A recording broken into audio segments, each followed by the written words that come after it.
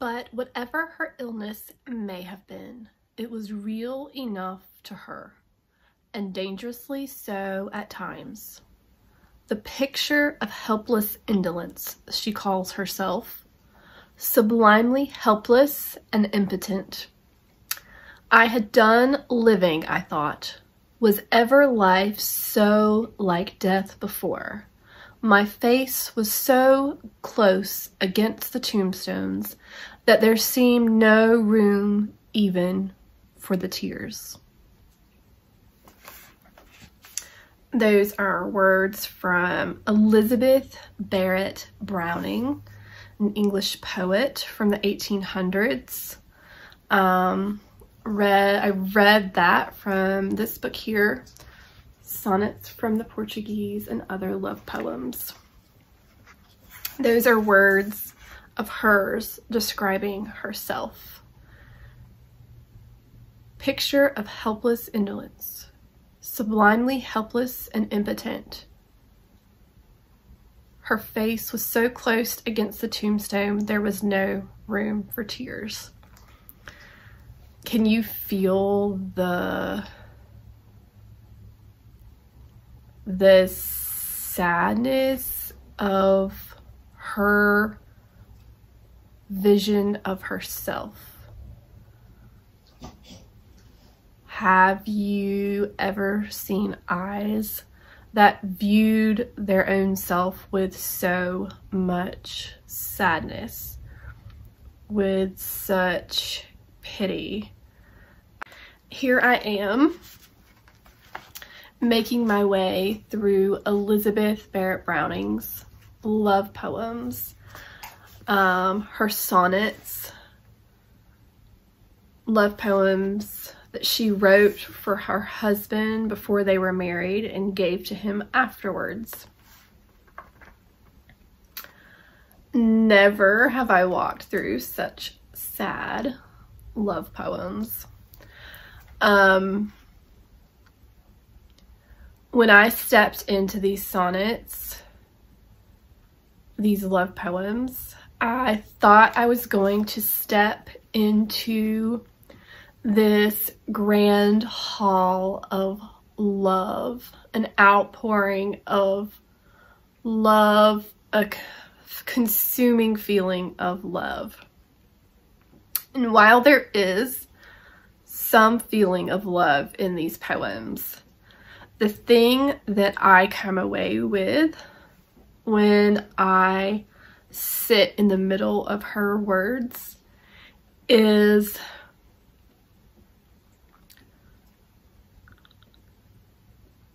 the admiration that she looks at her husband with and her view of his rich self, his beautiful, wonderful self. And her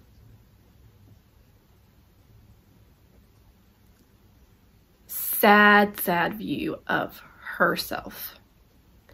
I think the contrast of her eyes when she looks at her own self, what she sees versus what she sees when she looks at her husband. It is a drastically different world that she sees. It is a drastically different vision that she looks at herself versus when she sees her husband. And it, to me, to stand in the middle of a place with, in her vision, of so much poverty sitting right to, next to so much wealth is oddly like very heartbreaking. Um, it's super weird. Um, today we're gonna explore quickly two of her sonnets. Um, it's number eight and number nine. They're right beside each other. Um, and the thing that I want you to sort of notice is her view of herself versus the view she has of her lover, her husband. Okay, this is number eight. What can I give thee back, O liberal and princely giver, who has brought the gold and purple of thine heart, unstained, untold, and laid them on the outside of the wall, for such as I to take or leave withal, in unexpected largesse. Am I cold, ungrateful, that for these most manifold high gifts I render nothing back at all? No, not so cold, but very poor instead. Ask God who knows. For frequent tears have run the colors from my life, and left so dead and pale a stuff it were not fitly done to give the same pillow to thy head to thy head go farther let it serve to trample on did you feel that like could you feel the contrast of her husband or her lover with herself. What can I give thee back, a liberal and princely giver, who has brought the gold and purple of thine heart, unstained, untold, and laid them on the outside of the wall for such as I to take or leave withal? So here is this, this princely giver who is so liberal in his giving and he's brought gold, the gold and purple of his heart and laid them on the outside of the wall for her to take or leave. I'm like, this makes me want to cry. Um, and then she says, so you have this like great richness um, this man leaving the gold and purple of his heart. Like she sees his heart as like noble and princely and like as valuable as gold and he's leaving it outside the wall of her heart maybe and she says am i cold ungrateful for these most manifold high gifts that I render nothing back at all. Why is she giving nothing back at all? She says she is not cold, but she is poor. Ask God who knows. For frequent tears have run the colors from my life and left so dead and pale a stuff, it were not fitly done to give the same as a pillow to thy head. Go further, let it serve to trample on. I'm like, I don't know if I've ever heard such a sad, like, a view of oneself compared to another person. oh, like, oh, like it breaks my heart. Um, so she is talking about, she said, ask God who knows. For frequent tears have run the colors from my life. So she has had so much sadness and tears that it has drained the color from her life and left so dead and pale a stuff. It's so her tears have drained all the color from her life and left something so pale and dead that it's not fit to give the same stuff as a pillow for his head. Go further. Let it serve to trample on. So here she is going on and on about this other person being a princely giver who brought gold and purple from his heart, unstained, untold, and laid them on the outside of the wall. For her, I mean, these manifold high gifts. But what she has left to give is so pale and dead, it's not even fit for a pillow for his head. So she's like, go, go on. Um, what I have to give is only, it only serves to be trampled on. Um, to me, I'm like, that is the, like, this is the saddest, like, this is the saddest poem. I'm like, the idea of having somebody love you who's that rich and then feeling like all you have to give that person isn't even worth walking on. Like all it's fit for is trampling.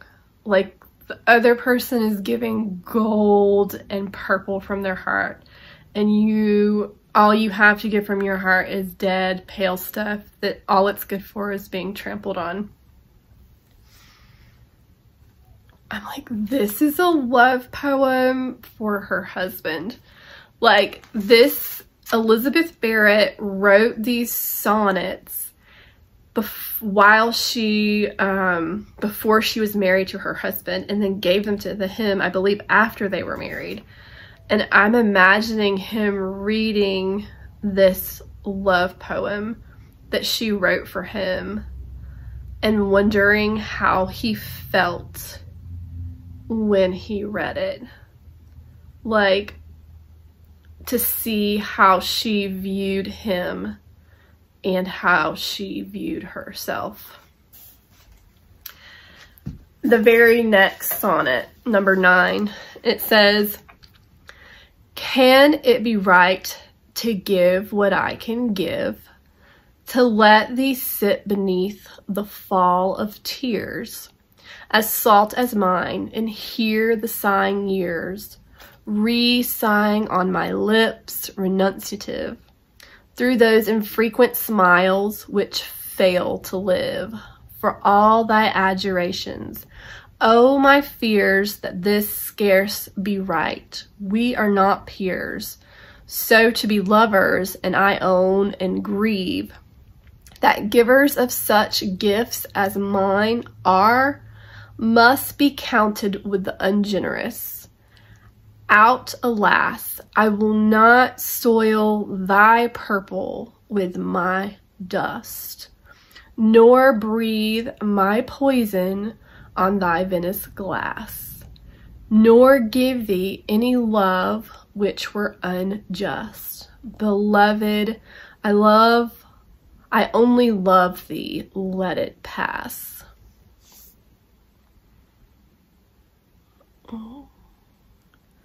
This to me, like, is, um, it's sad. It, can it be right to give what I can give? like this idea that of a person wanting to love another person but feeling like they have nothing to give. That what they have to give is you can sit beneath the fall of tears. You can sit beneath my tears and hear all my sighing years and those infrequent smiles which fail to live.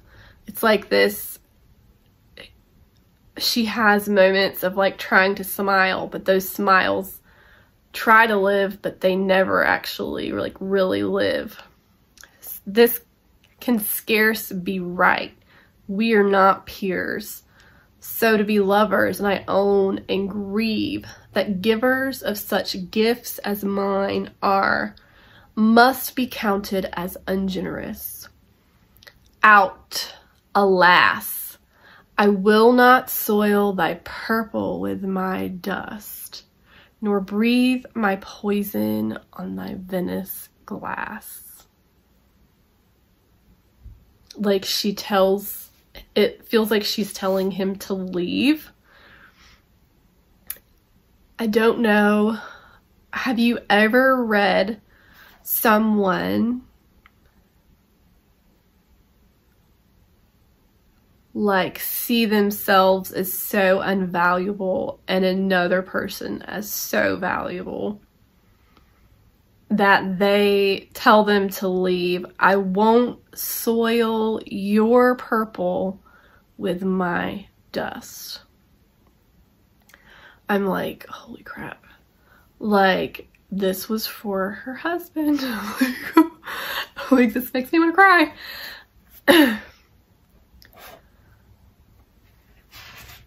like, like that is like one of the saddest sentences I've ever heard.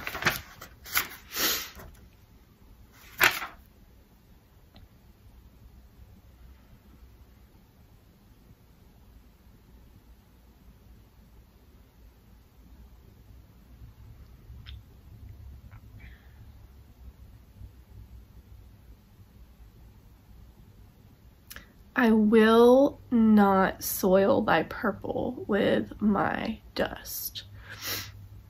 It's like she looks at him as something so um, amazing and royal and rich and it's like and then she looks at herself like and what she has to offer in regards to love as dust and like what she has to bring to the table is going to mess up this good thing that's him. Like this purple this royal this rich thing that is this man that she seems to be in love with she sees as like her she sees herself as almost like nothing.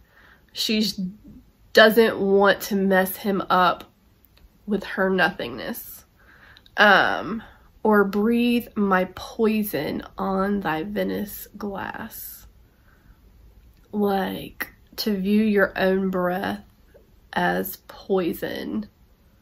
I don't know what a venice glass is. Do you know what a venice glass is Okay, imagine it's when I imagine Venice, you know, I'm like Italy, um, Venice glass. Are those glasses? Is that a cup? Like I don't know, but um, I guess in my head it conjures up something valuable. Um, nor give thee any love which were unjust. Yeah, her idea of being in love with someone this rich, it feels wrong. It feels like unjust. Like it's unjust to this man for him, for her to try to give him love because he is so much more valuable than her.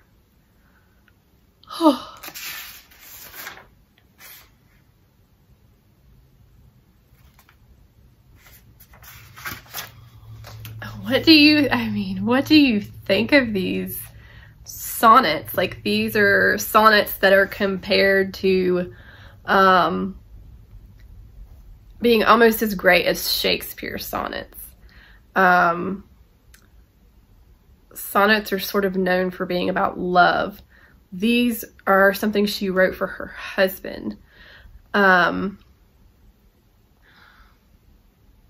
I'm trying to imagine what it would be like to receive this if her husband loved her at all.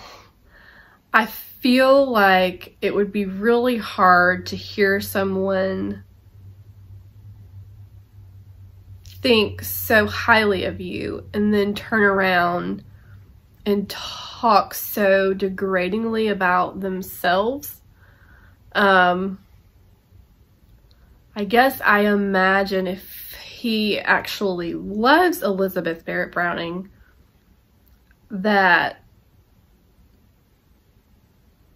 he probably he couldn't possibly see her love as dust or fit to be trampled on right?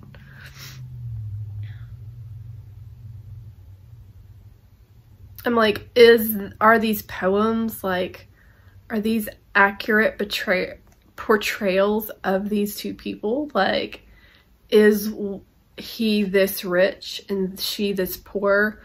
Is he have everything to offer and she have nothing? Um it's kind of got that feeling of like oh like that like cinderella feeling of yeah it makes me wonder if i'm like did he like these poems and i don't know like I guess maybe you could like these poems if you liked the idea of being someone's everything. If you liked the idea of rescuing someone from their poverty, rescuing someone from their nothingness. Um, yeah, this sort of has like a Cinderella feeling to me. Um, I guess there's part of me that wonders, I'm like, is this real? Is this the reality? Is she really this poor compared to him? Is this the reality? Does she see herself correctly or does she see herself wrong? Does she see him wrong? Like, are her, is her vision of the world, has it been, is it, is this, is this the correct lens to look through her world, to look at herself, to look at this man? And it just makes me wonder, like, this would feel, I feel like this would not feel like this sort of falling in love would be incredibly painful. If every step of your falling in love meant becoming more and more aware of your own poverty, I feel like that would hurt really bad. I don't know. That's just me. Um, so I'd be curious what you think of this these poems. This is sonnet 8 and 9 from the sonnets of Sonnets from the Portuguese and Other Love Poems, Elizabeth Barrett Browning.